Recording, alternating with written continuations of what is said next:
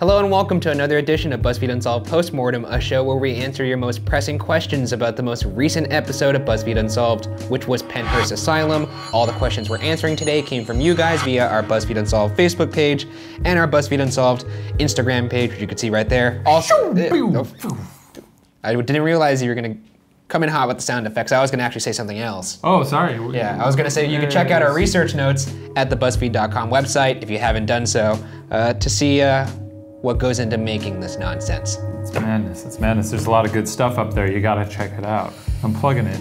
It's good, right? Yeah, you really sold it. I'm Hey, gonna click it on. You If I had access to a comp right now, I'd click on it myself. Must click. That's that's Shane's must click of the week. Moving on to questions. Uh, do you want to go first here? Yeah, here's one from Facebook. We're diving right into Facebook. Hey, Devin Wilson, do you think the spirits will only talk and react to Ryan because he has the belief that they're real, whereas Shane doesn't believe and so the spirits don't bother with him? It seems in this episode the ghosts were more active with Ryan because he spoke to them peacefully and Shane was just taking the piss. hashtag Bugara, hashtag love Shane's reactions though. I don't know, it's the, it's the radio, so I don't care. But it is quite coincidental that it you just it just doesn't happen for you. Maybe, Yes, it is. Okay, if you if you were to believe in energy, wouldn't you buy that though? That you put off this douche-toid energy that just kind of ushers things away. douche-toid energy. Yeah, that's you. It's like when you go to a party and you could kind of just feel the energy that this guy doesn't want to be there, and you're like, oh, what the fuck's this guy doing here? I feel like ghosts would want to party with me though, because I'm like, hey guys, let's come out. Hey, let's have some fun here. Let's dance.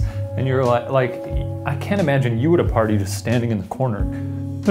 Oh yeah, because people always respond to you when you go to a party and you say, "Hey, here's your chance to murder me. No one's looking. Why don't you come over here and rip my bones out?" I know? feel like if I walked into a party doing that, people would be like, yeah, all right, this guy's fucking mm-hmm. weird. No, let's get crazy. that would be like, "Okay, Next season's gonna be my party season. I'm gonna party with the ghosts. You're just gonna bring a red solo cup, wear a backwards hat, Yeah, I'm gonna bring some pong balls."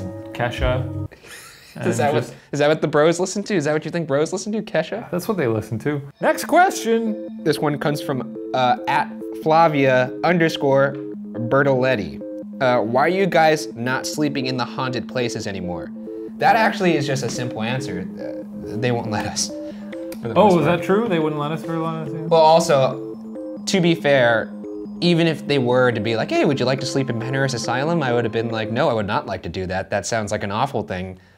Uh, Every bed in there was covered with either bed bugs, dust mites, uh, or spiders. Yeah, that place was filthy. I I wouldn't mind sleeping in more places. I think it's beneficial when it's, you know, it makes more sense when it's like a hotel. Yeah, and we get to sleep on a bed. Uh, that makes sense. But sleeping in an asylum, I guess that would kind of make sense. They wouldn't let us anyway. But uh, most of the time, it's the location saying, "Hey, you guys, if you want, you could stay over." Uh, we'll usually ask, "Can we stay over if we go to these places?" And a lot of times they say no because uh, more often than not, they're a functioning business. Uh, so they don't want two a holes sleeping in the you know the basement. Next one's from Facebook, Chloe L. Easterling. What if Jeff was one of the mean workers and killed a patient named Bry? Bree. Bree. And killed a patient named Bree. And her last words were, Please, Jeff. As if she were begging him not to kill her. This conversation is pretty compelling. In the moment, I was able to actually not be scared because I was getting responses and it was pretty cool. Who's here with me? It just sounded like the radio to me, but Well, that's you. Uh, Uh, let's just uh, take off your stupid little skeptic mask for a second. Just take it off, yeah. No, put it, put it back in your. Oh, holy shit. here I am. So, I believe in ghosts. okay, well, well, okay, don't need the all right, well, don't need the role play. I'm just saying. look sometimes at when it. people die, they come back and Look they're at- partly invisible. I don't even. If that does an impression of me, that doesn't even sound like me. Oh, Also, my face doesn't look like that. You- all right, tell me the theory. I don't turn into Elmer Fudd. All right. Do you think this Bree uh, person could have been someone murdered by uh, an evil doctor or one of the workers that was perhaps not that nice? It just, just seems like a reach, right? Yeah, a little bit. That's the point of taking off the skeptic mask. You're supposed to analyze it. Okay, pretend you're just analyzing dialogue. How about that? I gotta warn. I gotta warn you. When I took off the mask, there's just another one underneath. it's all masks, baby. His head is just a giant Russian doll of skepticism. I'm an onion. yeah. Here's one from from Grahamtown. Emily M. Jones, 0121, at the part where you thought you heard the two whimpers, but the second one could have been an owl. Immediately afterwards, I thought I heard footsteps. Our audio recorder picks up two distant whimpers. Okay, so those sound like footsteps. I think that may just be me and Shane shuffling in the room. Yeah, because the sound is boosted at that. The sound is boosted, and this place was very, uh, uh, for lack of a better term, gross. So is, uh, there was rickety. just there was rubble and uh, you know leftover shit on the floor, maybe literally. So uh, it's possible that us just wrestling would make that noise. So that's that. I don't think there was footsteps. There was another room where we did hear something bang uh, when we were investigating when we were doing the picture thing. So uh, there's a scene in this. In, there's a scene in this episode where we investigate by taking pictures. Uh, I had my hands full, so I left my EVP recorder in like a different part of the room, and we hear a noise coming from that direction. And I look over there. You actually see me look over there in the episode. I heard something in that cell over there. you heard something? It sounded like a pebble moving or something. It could have been just like a drop from the ceiling. That could have been something falling or something thrown, but there was something banging around over there. I don't remember. Of course, you don't remember. Last question from Instagram here. Heba176. Mm-hmm. I, I think you should have held the rods instead of taping them. Maybe that's why they didn't work. And by the way, don't why don't you use the spirit box in other rooms? It picks up better stuff than the audio recorder. Sorry, but that thing sucks. Smiley face, love you guys. First off, it's hilarious that you just just oh, the recorder thing sucks. It's not good. I mean, it's just well, it's not a it's not a fancy piece of equipment. It's just a It's just an audio recorder. just an audio recorder. So what you get is And what the other thing is just a radio scanner. Yeah, So what you what you get is what you get. yeah, and that's why I like them. They're analog devices. Yeah. I'm not going to use any fancy, you know, computer software or something because it sure as hell won't convince you. Uh, Ryan, what do we have coming up? This week we talk about uh, aliens. It's very interesting. One of my favorite cases. Uh, things get weird.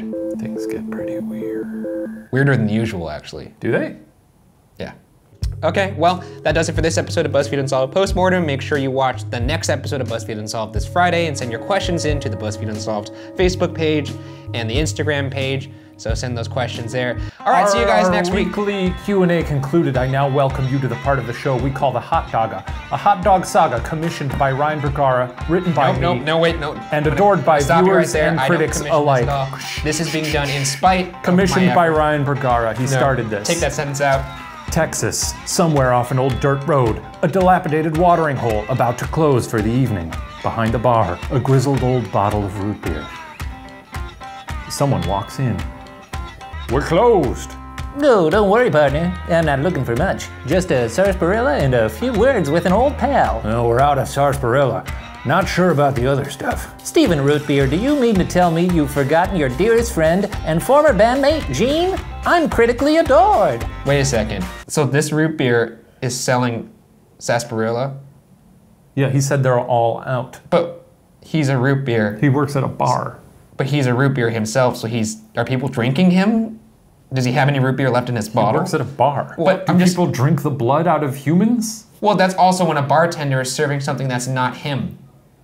I don't understand what your You just said here. that he's serving sarsaparilla. We got to get back to this, Ryan. Do we? You know, I- I think it's save your questions for the end, well, or, he's or submit them for the, the Q and A Are next people week. sipping out of his brain? That's Okay. Um, Okay. Can't say the name rattles a tambourine. Look, Stephen, I'm putting the band back together.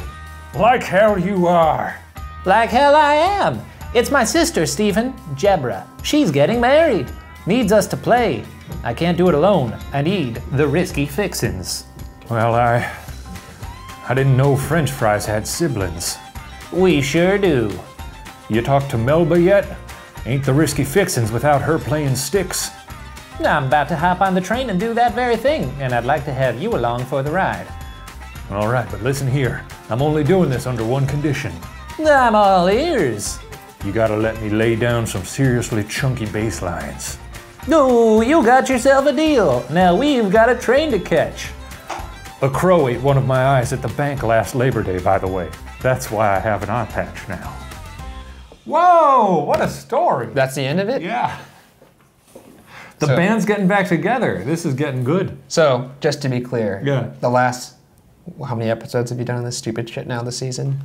I, Three? I don't know. Yeah. is- There's just been conversations about a hypothetical band that doesn't make sense. That's the journey, man. The So band's getting back we're just, together. We've just watched Talking Heads for the past three episodes. Uh, they're probably better than the Talking Heads. That's a you know It's- a critically just- acclaimed band. This, the Risky Fixins are probably even more acclaimed than them. You got any more expository dialogue you want to push on the audience? Look, they made me keep it expository this season because there was too much action last season. It's hard to animate. That's uh, just a, you know, blame your tools. Shoddy craftsmanship, blame the tools. That's kind of what's happening right here. The- Oh, they made, me, they made me tone it down. I couldn't really go that far, so I had to make the dialogue exposition.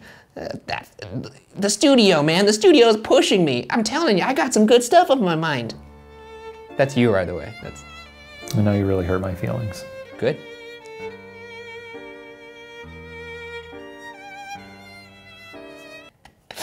Now I'm gonna get their sympathy. no.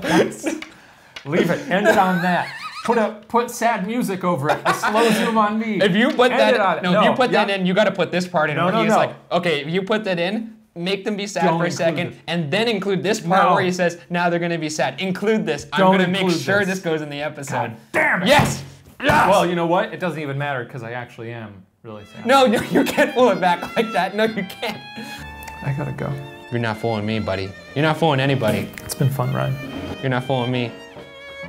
He just flicked me off outside. He flicked me off off frame right now. He's flicking me off right now. No, no, I swear. Pan the camera over there. Pan the, pan the camera. No, no, fucking.